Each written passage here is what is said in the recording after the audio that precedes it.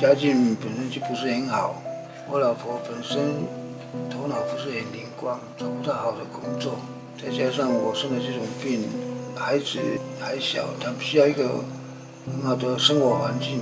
我们这个家破破烂烂的，每逢下雨就会积水。我希望能够有一个好的家，给他们遮风避雨，好好的活下去。一个很有才华的人人，木雕、石雕都雕的很很好看。希望宝宝病赶快好，然后跟我们过之前一样的生活，一样快乐的生活。